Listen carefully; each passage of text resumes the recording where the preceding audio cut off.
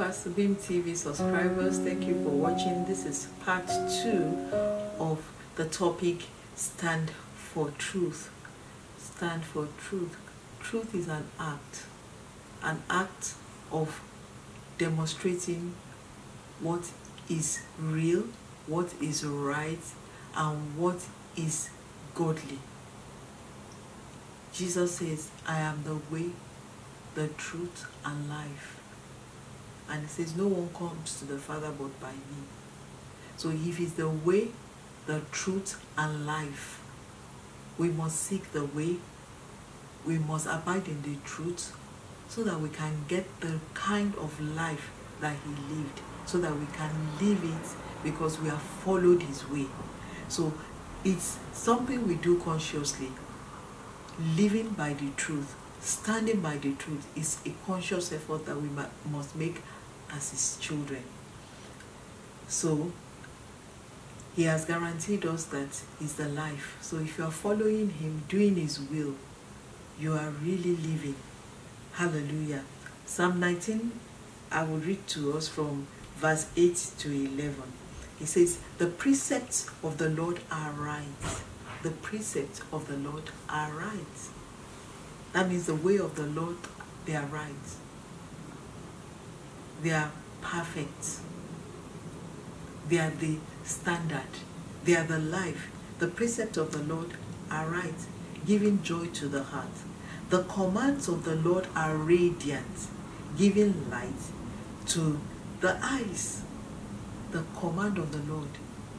The Bible lets us know that they are radiant. And meanwhile, I'm reading from the New International Version. Hallelujah. He says, giving light to the eyes. That means he, he shows us the way. The, the, the living the truth would make us to navigate our ways through life.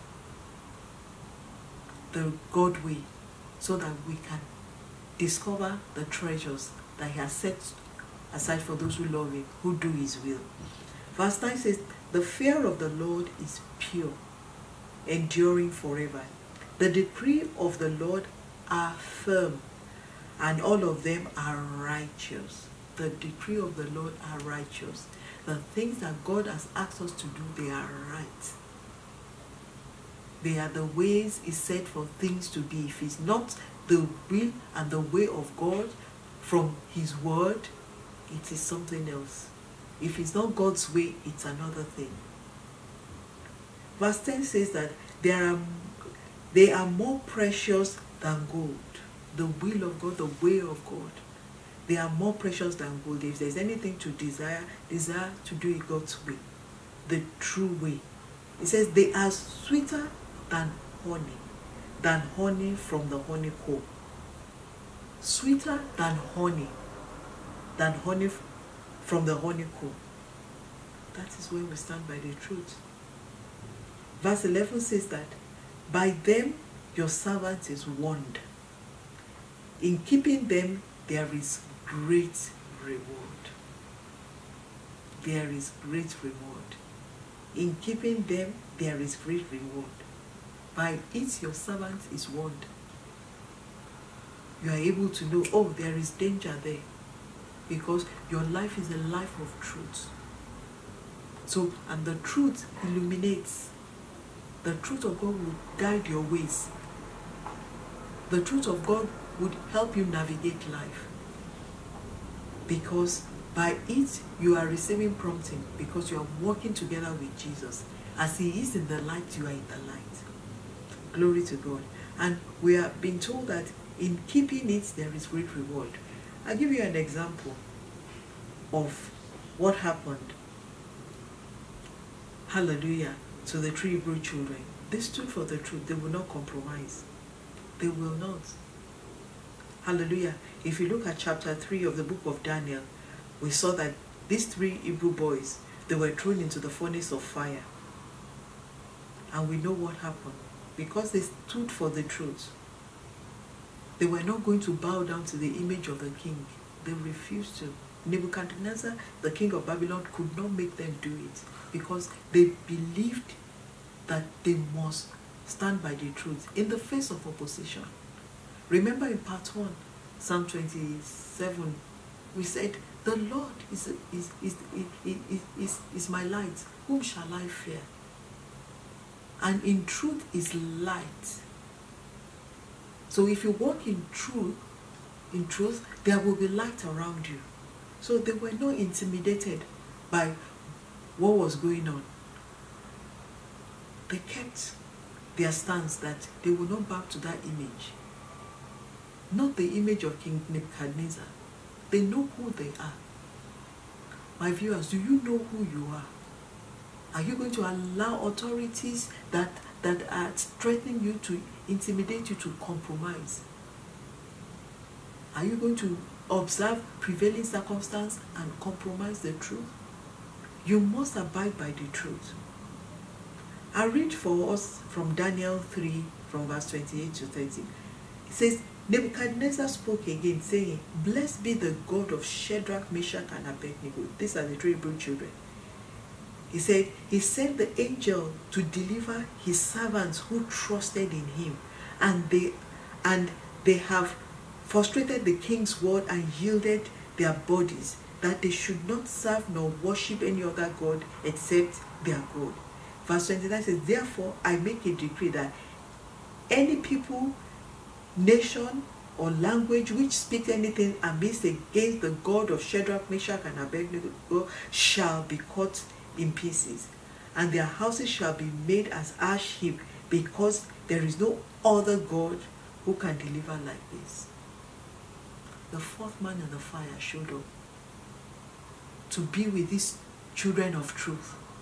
And look at the, the king. He was convinced by the truth they believe. He is now on their side. These three Hebrew children brought light to the king and invariably light to the nation because the king himself said it in verse 29 that therefore I make a decree that any people or language which speak anything amiss against the God of Shadrach, Meshach, and Abednego shall be cut in pieces. Are you on the Lord's side? better be on the Lord's side because if he's not on the Lord's side, it's, it's the opposite side. You must stand on his truth like these three good children in the face of any challenge. Look at what verse 30 has to show us. Verse 30 says, Then the king promoted Shadrach, Meshach, and Abednego in the province of Babylon. Promotion. That's human reward. How much more the reward of God that approves for these three Hebrew boys. Hallelujah. The same thing we know of Daniel too. When they were told that they should not pray, he would pray as usual. As many times as he used to pray, he didn't move it. He would pray to his God.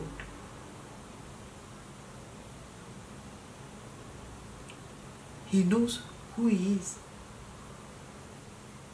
because they, they, he, they've been enslaved somewhere doesn't mean that you should forget who he is. Because you are working in that office, you don't does not imply that you should forget who you are. Because you are in that nation doesn't mean you should forget who you are. Because you are under that circumstance should not imply that you should forget who you are. Daniel did not forget who, who, who he is. And he stood by that truth. Even when all the other governors went to report him to the king that he's still not praying to any other God boy. He's God. Jehovah. That Jehovah did not let him down. It's that Jehovah that you know who will deliver you.